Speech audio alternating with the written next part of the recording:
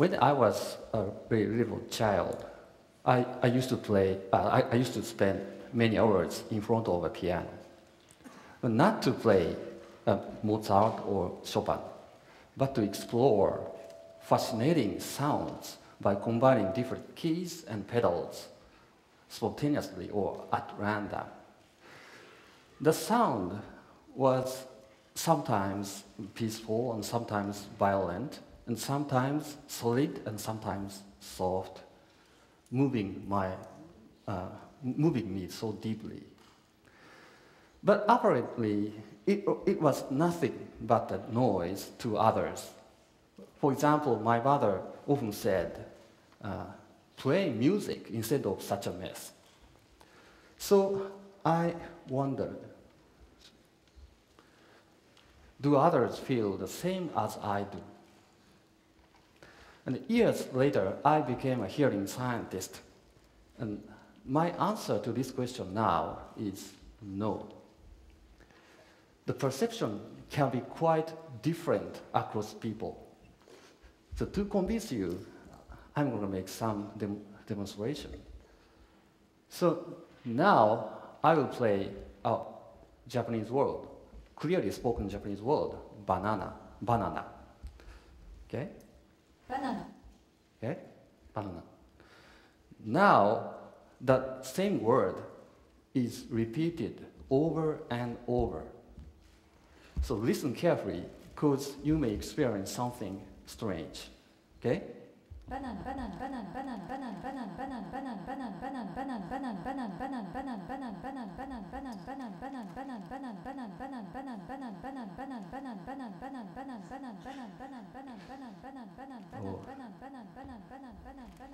So do you hear any, any changes?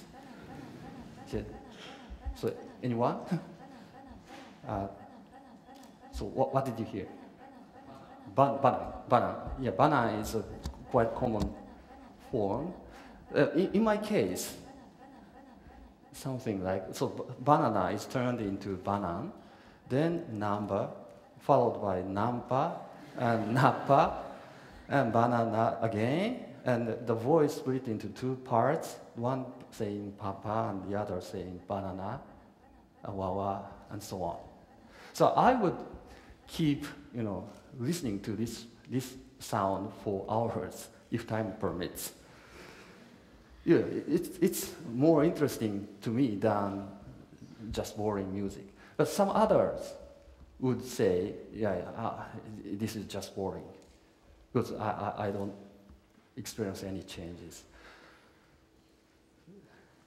Yeah, so, um, yeah, this, um, but what makes that kind of difference? So we listen to, the, uh, what, what uh, we perceive sounds not by ears, by, but by brain. The anatomy of the brain can be quite different across people. So the shapes and size of each uh, brain areas may be different, and also connection among different sites also different. Second, the brain functions are modulated or controlled by neuromodulators such as uh, dopamine or serotonin and, and things like that. And the balance and the effectiveness of such neuromodulators also depend on individuals. And third, and more importantly, the brain is plastic. In other words, the brain changes according to experiences. So several years ago, we examined the brain activity related to the illusory changes using functional MRI. So, so uh, shown in red are the new uh, brain sites that, uh, that are, were activated at the timing of illusory changes. Okay? Of special interest here is the Broca's area here, uh, which has been known as a center for speech production. We found that the activity, the higher the activity here, the more, more changes the listener experiences. It seems like this area acts as a, accel- accelerator, accelerator for perceptual switching. On the other hand, this area, anterior cingulate cortex, is acting like a brake to per- perceptual switching. So the number of illusory uh, switches is negatively correlated with the activity of the anterior cingulate cortex. So the balance between two sides seem to determine the, the, individual tendency of perception. And it's, it would not be appropriate to say which is better, because both has merits. In, in daily life, some, uh, when someone is given many options, someone uh, try to explore different options, different alternatives, but some others may stick to one. So both seems to be good. So um, the having this, the, the, those different kinds of people would uh, maximize the uh, probability or chance for the survival as a group. Okay?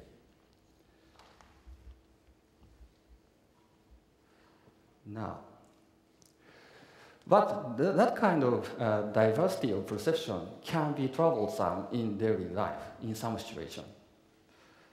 What we, uh, uh, sorry, um, the behavior or decisions critically depends on the perception. That is, how we grasp the world. The perception is so automatic and compelling that we cannot uh, notice there, uh, uh, there is a difference among people and believes that the, the perception is the world itself. But it's not true. It's only a limited uh, image of a quite complicated world. For example, some, some people may see a vase, vase here and want to buy one.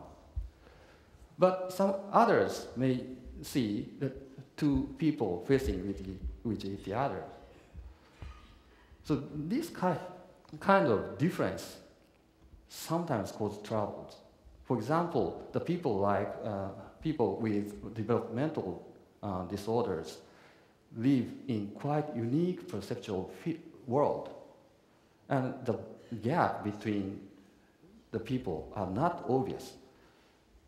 So I, I guess the first step to mutual uh, understanding is to notice the gap of perception. But, it, oh, but is there any way to bridge the gap? The one solution would be mind reading, so-called mind reading. That is a technology to decode the mental state or perception or emotion by outwardly observable physiological responses. For example, the pupil. The primary role of the pupil is uh, to control the amount of light coming into the eye. But also, the pupil is the window of the mind. The key structure here is the locus coeruleus, uh, which is in the brainstem, deep inside the brain. So when a salient stimulus, uh, the information about salient stimulus arrive at locus coeruleus, then it releases noradrenaline to different targets in the brain, including the prefrontal cortex, which controls cognitive functions such as uh, directing attention to a certain target or switching attention to the other.